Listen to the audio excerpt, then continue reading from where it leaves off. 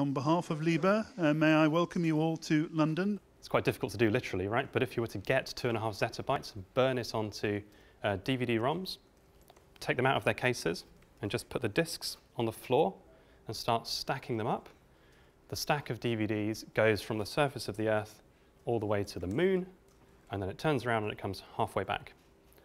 You have all heard, and just a minute ago we heard about the amount of data that's out there. One of the uh, ways I like to think about how much data was created in, in 2012 is if you took every word ever spoken, everything ever written, every thought ever conceived, and multiplied it by seven. That's how much data was created in 2012.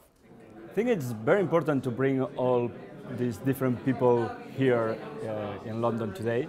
We, ha we have seen people from different uh, disciplines, from different areas, from business, from research, from librarians, policymakers. I think it's important to give a voice to all these uh, persons to try to get a clear solution about how it's possible to get uh, full access to any content on internet. So my point is that if you look at uh, restricting the, the right to do text data mining or to have you know, your robots out there analyzing, is virtually impossible. I don't see how anyone can actually draw a borderline between being able to read and being able to analyze anything.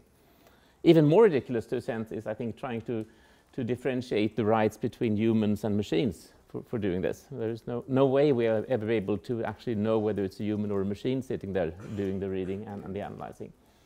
So, you know, I felt a bit like Isaac Asimov here that you know, we need the same rights for the robots as we have for the human readers here. When you see something in our journal, it's gone through a particular process, it's got a particular level of assessment that it's gone through, that it's got that brand on it, let's be blunt, and that you can associate a certain level of trust with that branding. It's also no longer really about distribution.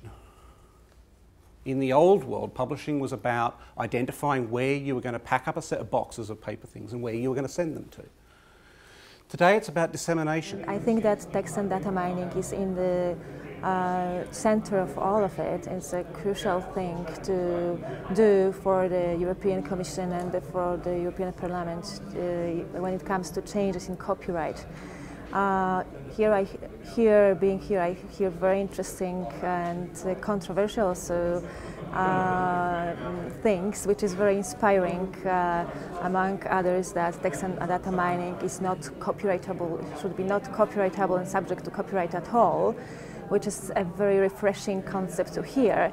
Uh, instead of hearing from publishers that it's all subject to licenses. We have now to deal with 20 million or more uh, citations, relevant documents that can help us to, to do the research.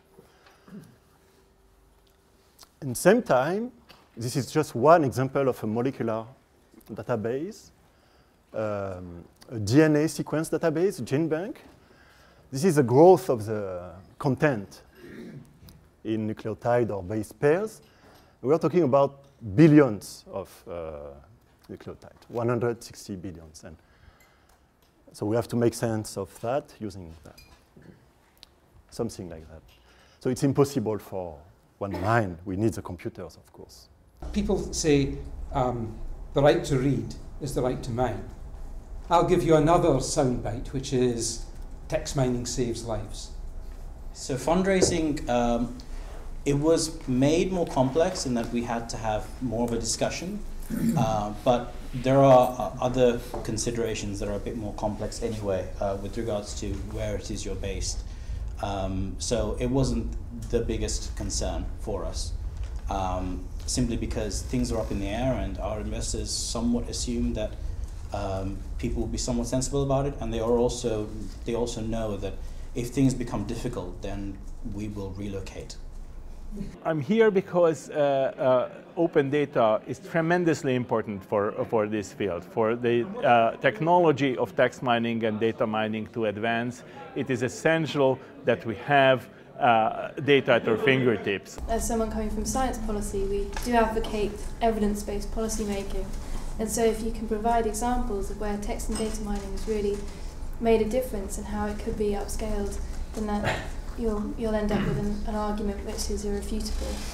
Copyright issues keep popping up, so now I'd like to, to just separate a bit between copyright and the sui generis database right, because this hasn't been mentioned uh, today, but I, in my humble opinion, I think that we should not underestimate the database right.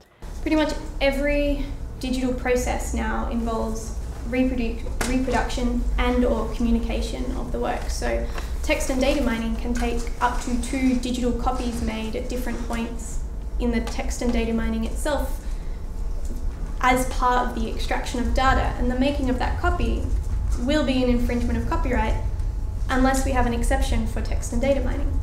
Thank you for uh, organizing that and thank you for uh, such an interesting set of uh, speakers and an exchange of ideas.